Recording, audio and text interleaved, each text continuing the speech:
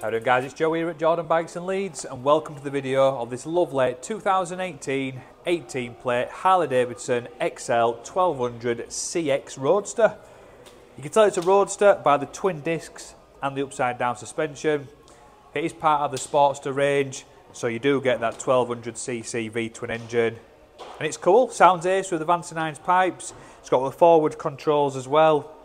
It's got this cool seat on it with the, uh, the billet quick release there and it's nice, it sounds of business, looks the part. Get this nice two-tone paint job as well, the silver, the black with a little bit of a sort of burgundy pinstripe going through it. It's all keyless, it's done 4,055 miles. It's a nice bike. The mirrors have been moved around as well to underneath, give it that little bit more of a retro look.